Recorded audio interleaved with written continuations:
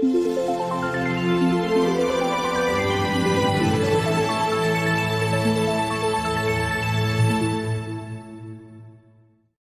箭这支球队在中国的市场还是有很多的球迷的。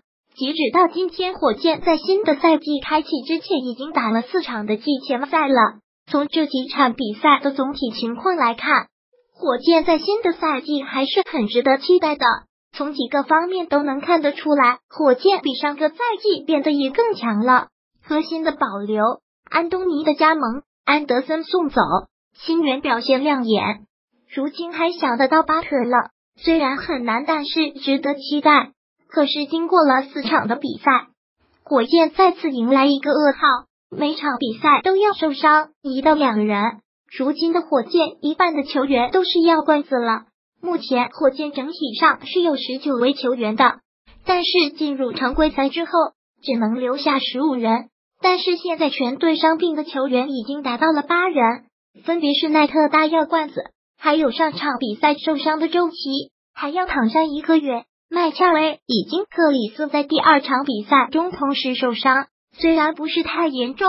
再有就是护框神将乔佩拉手指在对战马刺的比赛中受伤，戈登、哈滕施泰因、内内也都处于伤病之中。其实本来在对战上海队的比赛中，活人可期的周琦终于也是赢得了上场的机会，难得的一次机会。但是这个机会却成为了周琦的索命机会。好在是伤的不是太严重，不会报销整个赛季。可是这样一来，周琦在德帅的严重价值也是大打折扣了。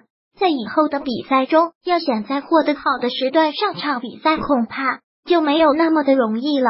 这里只是期待周琦可以在 NBA 里面能够顺利的成长起来，为中国篮球在 NBA 的赛场里面站稳席位。话题回到火箭队。如今，火箭队季前赛也就剩下明天的一场比赛了。十月十三日和灰熊展开最后一场季前赛对决。